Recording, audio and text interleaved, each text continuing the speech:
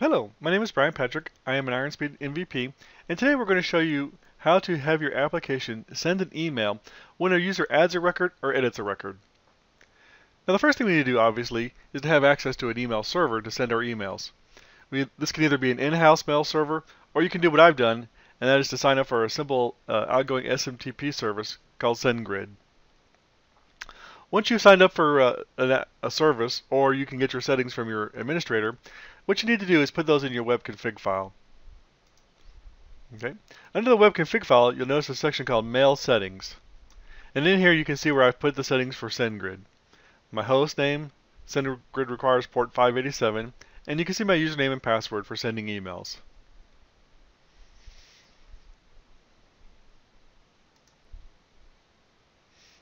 Okay, once we've modified the settings, our mail uh, settings in our web config file, the next step is to go ahead and modify the button actions on the add and edit, add and edit record pages. In my database, I have a table called schools, and I've gone ahead and created an add schools table. Very simple uh, add schools table. Simply has a couple fields, the name, the school district, and the type. Okay. What we need to do is modify the actions on the save button so that it'll send an email when the user adds a new school. In design mode, let's go ahead and select the Save button.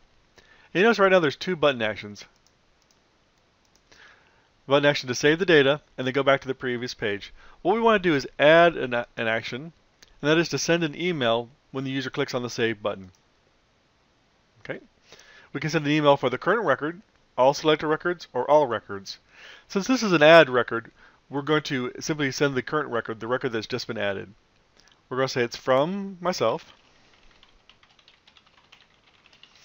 We're going to send it to myself. And I won't worry about the CC or the BC for now. Okay, now it's asking for the subject of the email. We'll say a new school has been added. And there's two ways to send the body content to your email. You can either send a web page, or we can send just a plain text um, body of an email saying that a record's been added. Now I'll go ahead and show both methods. But the first time I'm going to go ahead and just show a text, a text body. And what we'll do is we'll go ahead and say a simple text message says, a new school has been added. And let's go ahead and give them the school name. School name. And we can go ahead and here and say insert variable. If we do this, you notice that it's going to say, it's going to pick the fields from my school records control, the record that I'm adding. I'm going to go ahead and say, I want to add the field school name. Okay. And we'll say what kind of school type it is. Whether it's an elementary, a middle school, or a high school. Okay. Once again, I'm adding records from my school record control. And this time I'm going to pick the school type.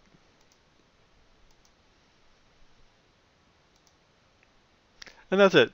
So you can see what I've done is I've gone ahead and I've created the subject of the email and I've said I want to use text with substitution variables for the content of the email.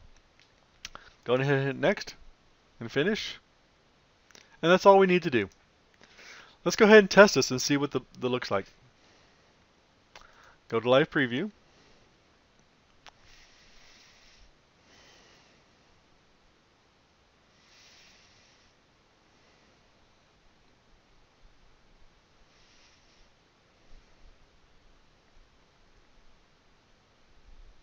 Okay, this is my ad school page. I'm to go ahead and type in a school name.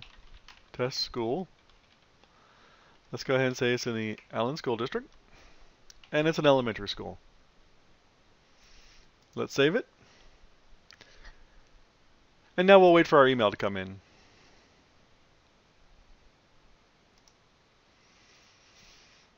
Okay, and we've received our email.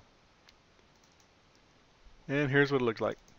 Notice it has a subject, a new school has been added and it has the text that we entered in our uh, add button. And we replace the name of the school and replace the school type.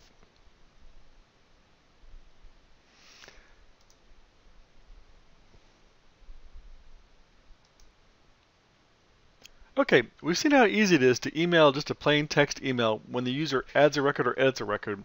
Now let's uh, make it send a more interesting page by passing the URL of a page that we want to send that will contain the contents of what we want to email to the user. Okay.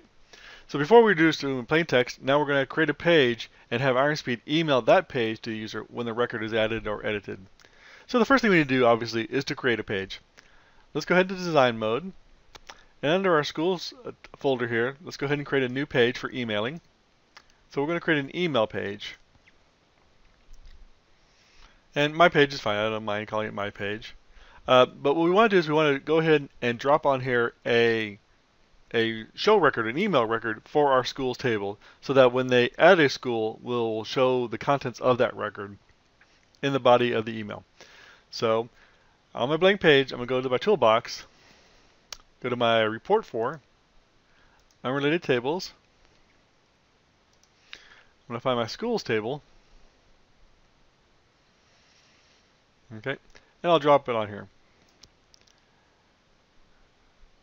Now the record I want is an emailable printable page because this is going to be a, I'm sorry, an email printable record because we want just our, our school's record to be emailed to us when they add a new school.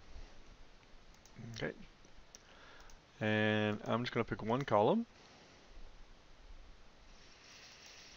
And I'll just pick a few.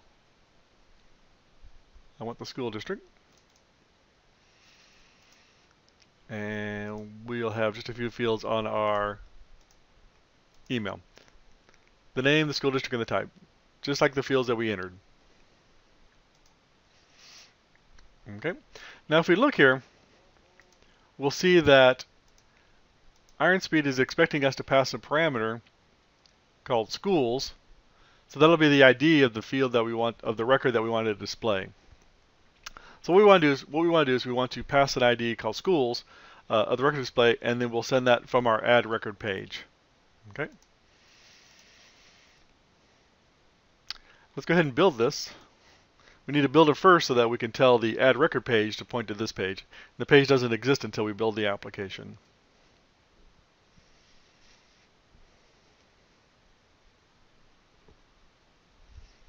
Okay, let's go back to our Add Schools page. Go to our Save button. Now we still have the, uh, the, the button action for send a school, a new school has been added email. Let's go ahead and modify that and we'll change it to point to the new record that we just created. And I mean, I'm sorry, the new page that we just created. Okay. We'll go ahead and leave who it's from and to. We'll keep the subject. But this time, instead for the body content, instead of the, the text with substitutions, we're going to tell it we want to send a web page. We can browse to our URL, Remember, it was my page. So we're going to send schools my page. And we need to send it a parameter. We need to send it which school ID that we want to um, display. That'll be in the body of the email. Remember when we looked at it, it's looking for a parameter called schools, the same as our table name. And we need to tell it which value to pass. We're going to pass our schools record, and I'm going to pass the school ID field. Okay do next and next and finish. Okay. Now let's go ahead and add another school and we should see that we'll get a, a full URL, an HTML body email with that page that we created.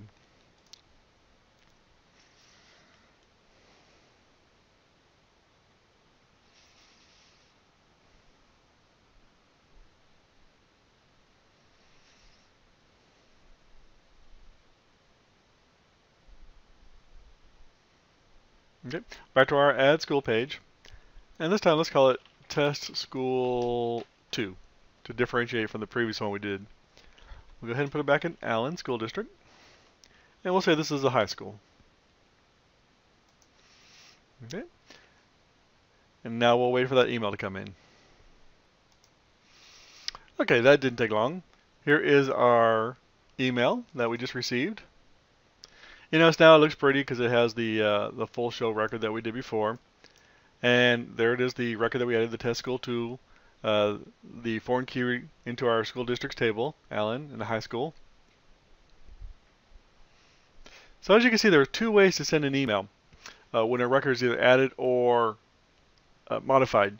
You can add the, the button action to send an email, and they tell it just to do an, a plain text body of an email where you can do substitution of, of uh, fields, or you can have it create a page and have it send that page as an email to a user.